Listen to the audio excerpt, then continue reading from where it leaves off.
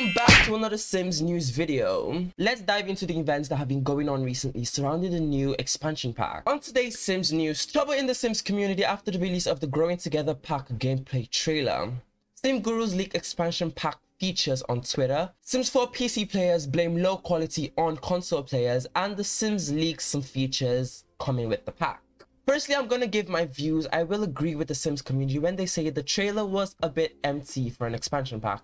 It basically only talked about the family dynamic part of the pack and gave vague ideas of the pack's features, which caused some turmoil in the community as always. More on that later. What I do want to talk about is the family dynamics aspect of the pack in context. It is a really great idea, but the question is how well is it going to be implemented?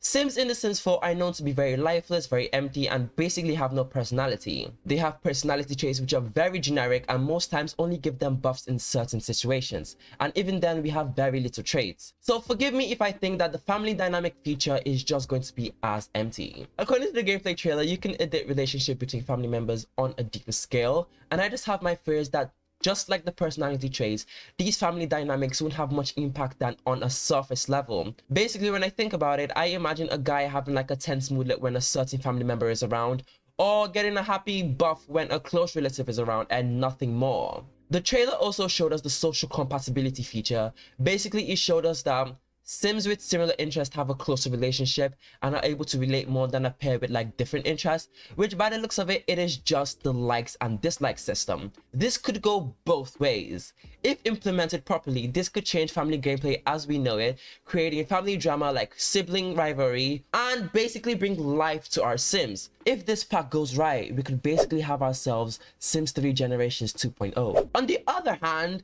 this pack that has created so much anticipation over the past few months won't meet the expectations of the Sims community and we will basically have ourselves a Parenthood 2.0 as some in the Sims community have already started calling them and we do not want that. So all we can do is wait and hope that this pack pulls through. After the release of the gameplay trailer, the reactions from the Sims community have not been too peachy. The community basically complained about how vague the trailer was, concentrating only on displaying the family dynamic features. Sims YouTuber and Twitter user Simeon tweeted, I feel like the Sim Guru's holding back on the gameplay trailer on what's to come in the pack and stating that there is so much more in the live stream only puts a lot of pressure on their end to deliver what we are all expecting, more. And this is what Sim Guru Nova had to say about the matter. They tweeted, the trailer did prominently feature family dynamics, milestones, and social compatibility, but there is so much more in the pack. There was also a few features nestled in there that y'all might not have picked up on initially. It's kind of hard to capture it in a two minutes video, live stream soon. Now, I do understand both parties. The Sims couldn't possibly fit all the features of an expansion pack in a two minute trailer. Personally, I love not getting too much information about a pack. It means I can kind of like explore the features on my own and everything is kind of really new and exciting. But giving us this little taste of such a pack and promising so much more pushes our hopes up really high, which the Sims Guru did say that they intend to build anticipation, but are they making a mistake? Raising expectations of players without meeting those expectations could be really rough. For example, High School Years had a lot of hype about it, and don't get me wrong, it was a great pack, but I bet we can all agree that it could have been better.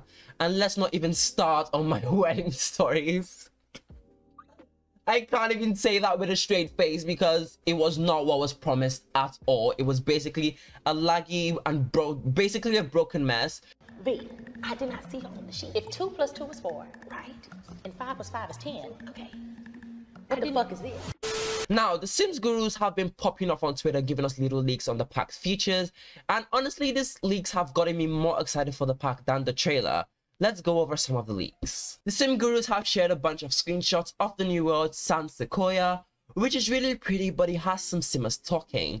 Simmers have complained about how the Sims have been sticking to an American suburban theme with the recent packs, and a lot of Simmers compare the new world with Willow Creek, saying they look really similar. Basically, we're just asking for a little bit of diversity in this game. We just need a bunch of like different looking worlds and not having like very much similar looking worlds, if you get what I mean. Sim Guru Morgan also revealed that the new world will be coming with 12 playable lots and 3 neighborhoods, each one having 4 lots and this caused a bit of division between PC and console players, more on that later. Sim Guru Ninja teased about a Pie menu reorganization. They tweeted, I'm actually low-key excited for the Pie menu reorg coming with the updates. There have been no pictures, so we'll just have to wait and see. Sim Guru Morgan also hinted a child skill revamp. They tweeted, the way child skill works hasn't always been my preference, so I have a mod for that. We did rework that in the base game for growing together though. It's different from the mod I use, but cooler in my opinion. I can't wait to remove the mod and play the updated way when it goes live. This I'm really excited about because we all know how boring it is to play with child sims.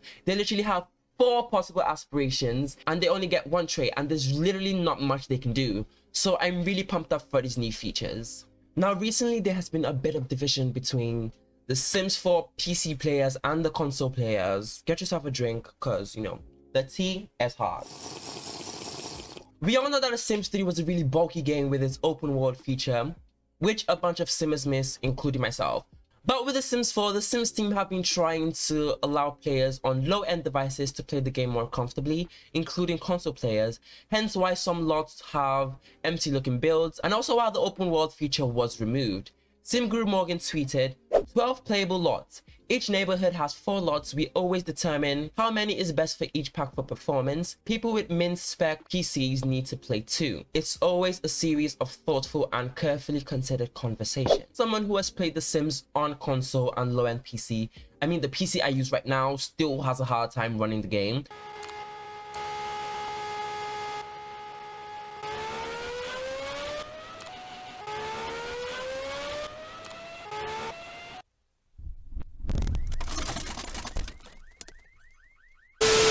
I feel it's really nice for simmers with low spec devices to be considered in situations like this. So I really don't get why PC players have been coming for console players because I feel like a world having less slots, it really doesn't have that much disadvantage. Obviously, we would love more lots, we would love more playable lots, but it doesn't really take anything from like our gameplay and stuff like that. It really has very minimal disadvantages. So I think they should really be considerate for people who have min spec who also love to enjoy the Sims games. Lastly, on today's Sims news segment, the Sims official account has also been doing a few leaks here and there. Replying to Sim Guru's Nova tweet about the complaints on the trailer, the Sims official account tweeted, like an in-laws temporary stay, which is a feature that was teased in the trailer and really strikes intrigue in Simmers, and I am personally really excited for this. Like, G fucking G bestie, if you can implement that well, then the pack is worth its money. I'm just saying. On top of that, The Sims also revealed that with the expansion packs released on the 14th of March, the base game will also be receiving an update with birthmarks, stretch marks, and cesarean scars. And I think I speak for the Sims community when I say that The Sims has been dropping a lot of good stuff lately. And I just really hope that the Growing Together pack follows the trend. The Growing Together expansion pack is going to be releasing on the 16th of March, and the Infants base game drop is going to be releasing on the 14th of March.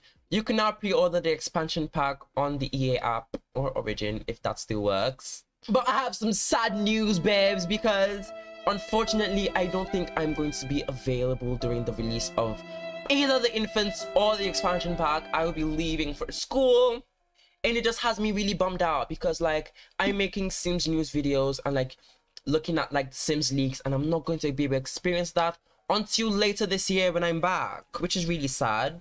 I really hate that for myself. really, really do hate that. And that is all I have for you today. I'm really excited for the stream and I look at my calendar every now and then, hoping it's the 3rd of March. I hope you enjoyed this video. If you did, make sure to leave a like and subscribe before you go. I really appreciate that. And while you're in the clicking consider following my socials on screen or in the description. And I will see you guys in the next video. Good damn bye.